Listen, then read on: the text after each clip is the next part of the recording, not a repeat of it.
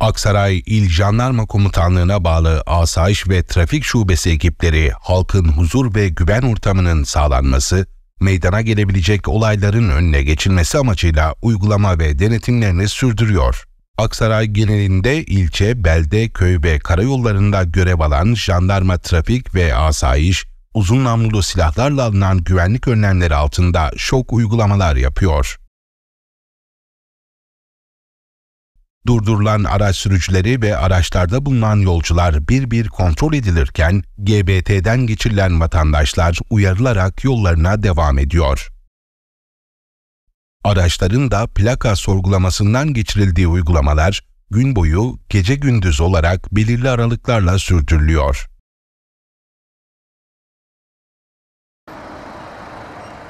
Jandarma ekipleri ayrıca sürücüleri de başta hız yapmamaları konusunda ve diğer trafik kuralları çerçevesinde bilgilendiriyor. Uygulamalar esnasında herhangi bir olumsuzluğa karşı jandarma ekipleri uzun namlulu silahlarla güvenlik önlemleri alıyor.